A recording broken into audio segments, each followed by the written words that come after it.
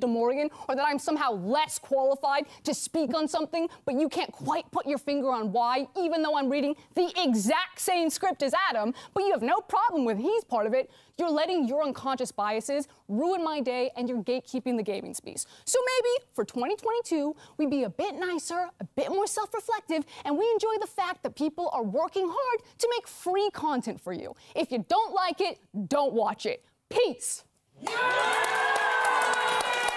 Hey, hey, I gotta, I gotta, I gotta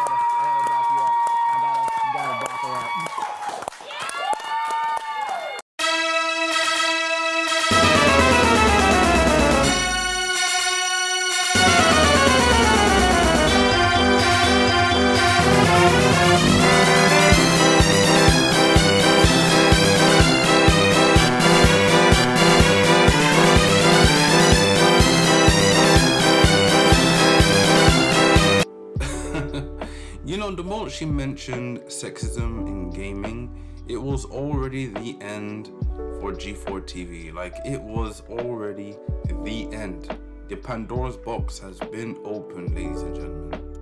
To be honest with you, I haven't heard of G4 TV before. I haven't known it exists, nor have I ever watched a single G4 TV video before until the backlash were rising and it brought my awareness. So I've been keeping up with the research and stuff and wow, it is amazing. I mean, when I mean amazing, I mean like G4 TV was in a whole lot of backlash, all because of Frosk ranting. but today, in this very present, I mean, it seems like G4 TV is officially dead.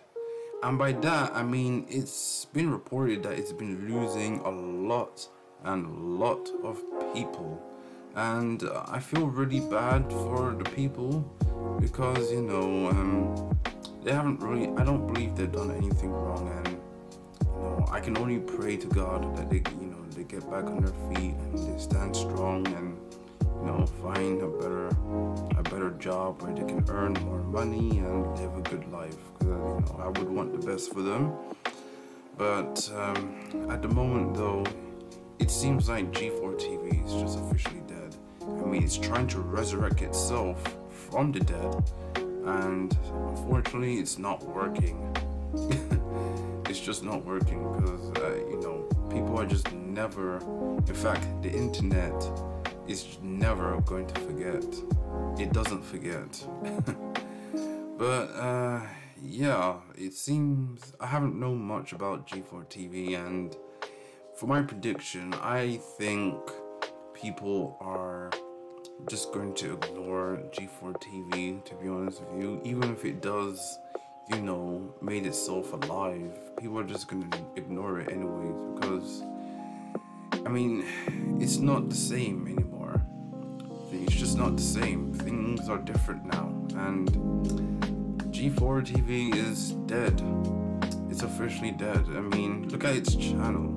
I mean, I don't want to shame uh, viewership and stuff, but like, ever since the Frosk ranting, I mean, it's been losing a lot of subscribers and a lot of views. I mean, I, I'm pretty sure the last time uh, I came to the G4 TV channel, it did had about like uh, I don't know 200 um, 200,000 subscribers.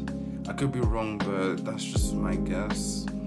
But anyways, um, yeah, like and if you like this video, give it a like. If you dislike this video, give it a dislike. I appreciate all feedbacks given. Thank you and peace.